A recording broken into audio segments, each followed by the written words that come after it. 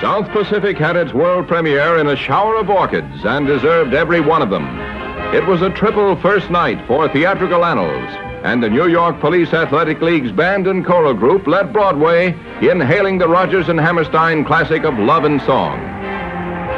Mitzi Gaynor and Rossano Brazzi, South Pacific's brilliant stars, were in attendance, with France Nuyen and John Kerr, the young lovers in the musical masterpiece.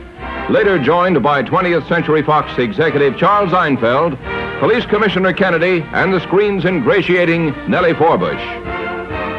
Entrepreneur George Skouras and his wife attended with South Pacific's producer Buddy Adler and the latter's wife Anita Louise. Also there with wives and friends were the immortal collaborators Richard Rodgers and Oscar Hammerstein II. Charity benefited from all three showings, one of which saw the Joshua Logans in attendance.